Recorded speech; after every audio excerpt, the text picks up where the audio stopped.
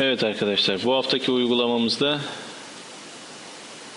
Mechatronics kısmından PWM'i göreceğiz.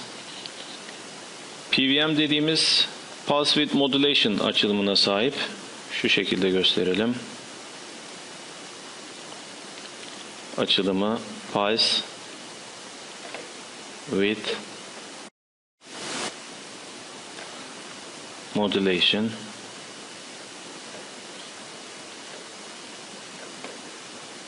Türkçe açıklamasına bakacak olursak darbe, genişlik, modülasyonu. Darbe genişlik modülasyonu ne demek? Şimdi biraz detayından bahsedelim. Genelde karşımıza çıkan kare dalga şekilleri çizdiğim gibi oluyor. Yani %50'si 0, %50'si 1 biçiminde. Burada geçen süre t ise 1 için Şurada 0 için geçen süre genelde t oluyor. Yani %50'ye %50. %50 duty cycle'a sahip diyoruz. Ancak buradaki pasin bir süresini arttırıp azaltarak bu işlemi gerçekleştirmiş oluyoruz. Yani darbe genişlik modülasyonu yapmış oluyoruz. Örneğin bu görmüş olduğunuz sinyal şu hale gelebiliyor.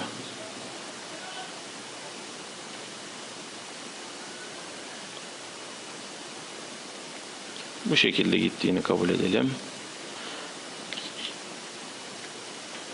Burada geçen T1 diyelim. Buraya da T2 diyelim. T1 süresinin T2'den büyük olduğunu görüyoruz. Örneğin yüzdelik bazda bakacak olursak yüzdenin 80'i 1'e, yüzdenin 20'si 0'a aitse biz buna yüzde 80 duty cycle e, değerine sahip diyoruz. Benzer şekilde bunu şu şekilde de getirmek mümkün. Yani bir süresini kısıp sıfır süresini arttırma.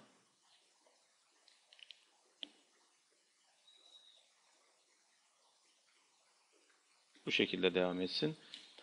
Bunda da 1 için geçen süre ile 0 için geçen süreyi karşılaştırdığınızda 0 için geçen süre daha büyük oluyor. Yani T1 küçük T2 olmuş oluyor. Buna da yaklaşık %20 diyebiliriz. Hani görsel olarak. Peki bu durum bizim ne işimize yarıyor? Bu durum daha çok motor sürücü devrelerinde karşımıza çıkıyor.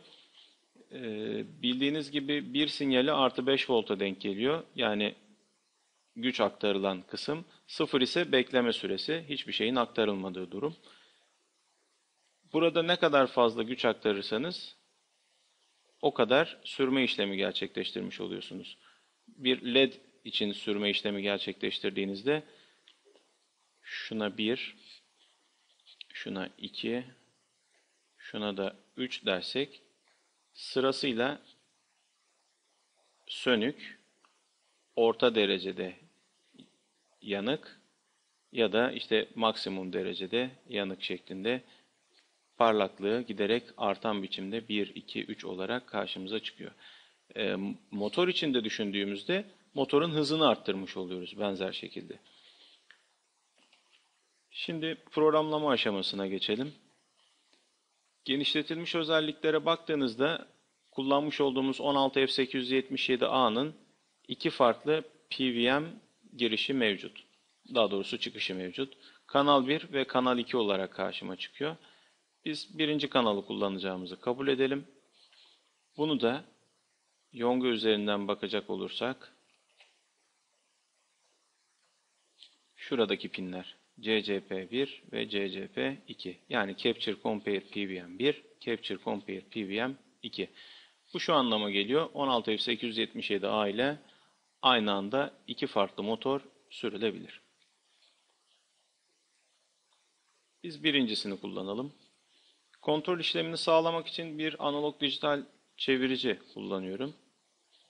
Bunun bağlantılar kısmına baktığınızda şöyle bir uyarı alacaksınız. Çünkü zaten mikro denetleyicinin kendi içerisinde olan bir yapı. Diğerinin bağlantısı ise AN0'a bağlı. Amacım şu, buradan analog dijital çevirici üzerinde değişiklik gerçekleştirdiğimde e, benzer şekilde PWM'in de yüzdelik oranını değiştirmek. Bunun için başlangıçta PWM'imizi enable ediyoruz. Sonrasında bir döngü. Bunun içerisine analog dijital çeviricide byte olarak okuma gerçekleştir diyoruz. Bir değişken tanımlamalıyız. Bu değişkenin adı yine ADC olsun. Tipi de byte olsun diyorum. Tamam diyorum. ADC'nin üstüne çift tıkladım. Geri dönüş değeri olarak. Elemanımdan okuduğu byte değerini ADC olarak kaydetti. Bir sonraki aşamada ise PVM'de set duty cycle diyorum. Ve ADC değerini direkt gönderiyorum. Küçük bir bekleme uygulayacağım. 10 milisaniye gibi. Şimdi izleyelim.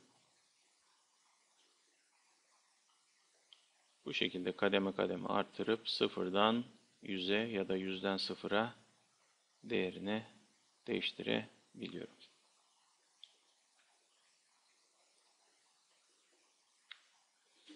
Evet arkadaşlar, şimdiki uygulamamız yine PVM üzerine ancak bu kez analog dijital çevirici kullanmayacağız. Bunun yerine input menüsünden bir tuş takımı, output menüsünden bir LCD alarak şu üçlü üzerinden gerçekleştireceğiz. Amacımız şu, daha önceden yapmış olduğumuz analog dijital çevirici üzerinden gerçekleştirdiğimiz bu aktarımı e, bu kez tuş takımı üzerinden gerçekleştirmek.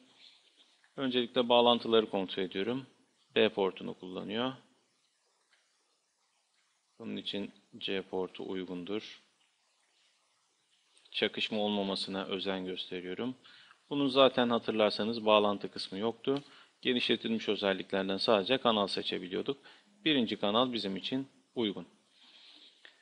LCD kullandığımız her projede olduğu gibi yapmamız gereken ilk iş LCD'yi başlatmak. Sonrasında 200 milisaniye gibi bir gecikme uygulayıp LCD'nin ısınmasını beklemek. Bunun sonrasında yapılacak işlem bu arada en başta yine PVM'i enable etmeyi unutmuyoruz. Tuş takımından okuma gerçekleştireceğim. Keypad'den get keypad number makrosunu kullanarak bir değişken tanımlayacağım. Değişkenimin adı tuş olsun. Türkçe karakter kullanmıyorum. Tuz şeklinde yazdım. Byte tipinde olması gerekiyor. Tamam diyorum.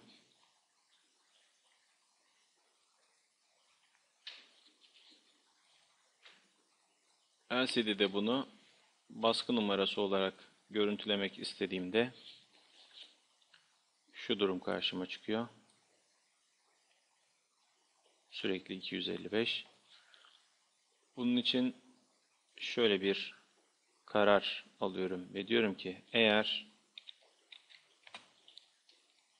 tuş değeri 255'ten farklı ise o zaman ekrana yazdır diyoruz. Tabi yazdırılacak noktayı da öncesinde LCD'de imleç 0'a 0 noktasından itibaren başla diye belirtiyoruz. Bunu bu şekilde denediğimizde tüm ekran doluyor. Çok hızlı işlem gerçekleştirdiği için girişten saniyede 20 milyon işlem gerçekleştirebiliyor. Bu da oldukça yüksek bir hız. Bunun önüne geçebilmek için şöyle bir döngü kullanacağız. Yine benzer şekilde keypad'den okuma yap.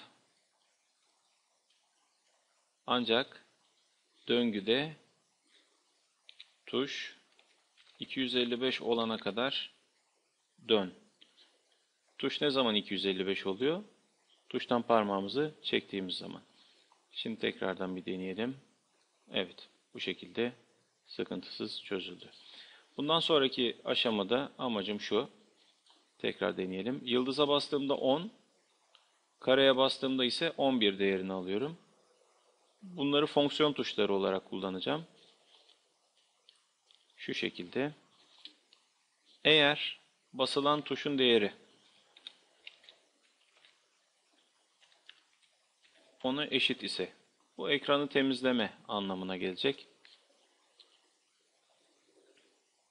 LCD'yi temizle diyeceğim. Yok değilse bu durumda şuradaki işlemleri yap deyip taşıma işlemi gerçekleştiriyorum. Bir deneme yapalım. Evet. Yıldız tuşu şu anda artık 10 değerini vermiyor. Fonksiyon tuşu olarak işlev görüyor. Ekranı temizliyor. Şöyle bir şey yapalım. Şuraya ben bir bağlantı noktası atmak istiyorum. Buraya da benzer şekilde ve bu temizleme işlemini başa almak istiyorum. Başlangıçta temizlesin, sıfıra sıfıra gitsin. Ee, Get keypad number makrosuyla okunan tuş değerini, tuş isimli değişkene kaydetsin. Eğer herhangi bir tuşa basıldıysa ve bu basılan tuş 10 sa A'ya gitsin. Yani ekranı temizlesin, başa dönsün. Yok eğer yıldız dışında bir şeye basıldıysa ekranda göstersin ve ekranın doldurmaması için de bu şekilde 255 olmasını beklesin. Bir sonraki aşamada basılan tuş değeri 11 mi diye sorgulatıyorum. Tuş eşit mi 11'e? Değilse bu kararı bunun içerisine sürüklüyorum. Yok eğer 11 ise o zaman şu işlemleri gerçekleştireceğiz. Bir hesaplama aldım. Sayı diye bir dizi tanımlayacağım. Sayı. Sayının sıfırıncı elemanı çarpı 100 artı sayının birinci elemanı çarpı 10 artı sayının ikinci elemanıyla toplayıp buradan elde ettiğim toplam değeri toplam isimli bir değişkene kaydediyorum. Ve bunu da başa eşitledim. Neden bunu bu şekilde yapıyorum? Şuradan bir tanımlama yaparak devam edeyim. Ardından açıklayacağım.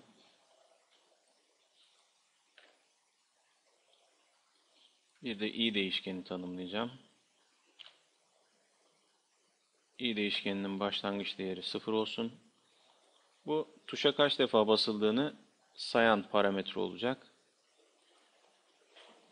Benzer şekilde sayının sıfırıncı elemanı başlangıçta sıfır olsun. Birinci elemanı yine sıfır ve ikinci elemanı yine sıfır olsun. Neden ikinci elemana kadar gidiyorum? Çünkü 3 basamakla en fazla girilmesini isteyeceğim. Yüzdelik olarak sıfırdan 100'e kadar değişeceği için 100 3 basamaklı oluyor. Ee, ancak tek basamaklı da olabilir. İlerleyen aşamalarda bunun değişikliğini gerçekleştireceğiz. Burada eğer yıldız ya da karenin herhangi bir tanesine basılmadıysa ekranda tuş değerini yazdır dedikten hemen sonra sayının dizi olarak i'inci elemanına tuş değeri neyse onu yükle diyorum. Yani basılan tuş değeri sayının i'inci elemanına kaydolsun diyorum. Bunun sonrasında ise i'yi 1 arttırıyorum.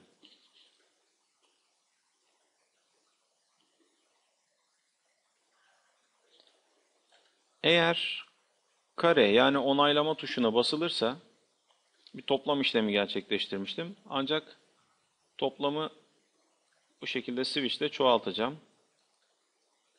Bir i değeri belirliyorum. i'nin değeri 1, 2 ya da 3 olabilir.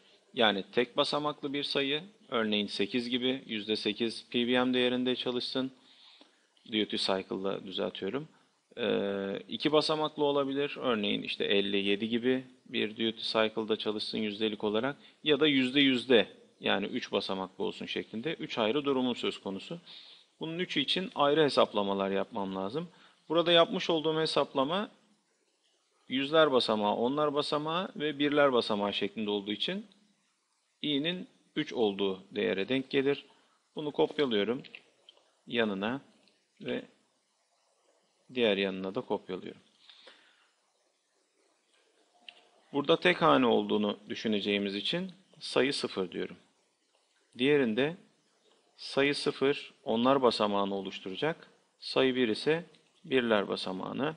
Yani bundan sonrasını siliyorum. Ve bu şekilde belirliyorum. Artık toplam sayım i değişkenine göre değişkenlik gösterdi.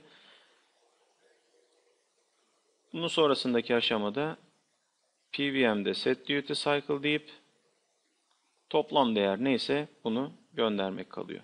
Şimdi bunu bir deneyelim.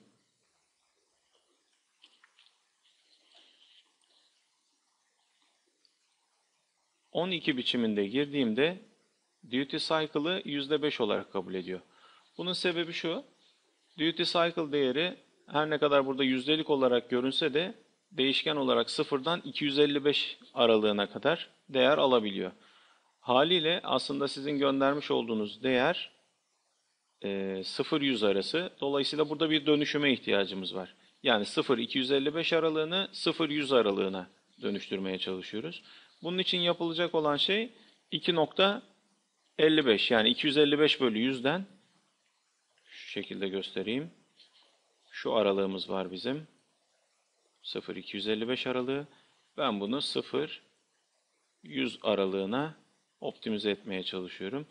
Dolayısıyla gireceğim her sayı değerini 0-100 aralığındaki her sayı değerini 2.55 ile çarpmam gerekiyor.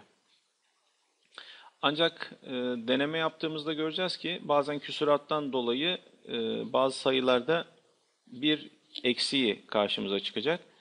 Bunun için en uygun değer 2.56 olması. 2.56 ile çarpacağız. Şimdi bunu uygulayalım.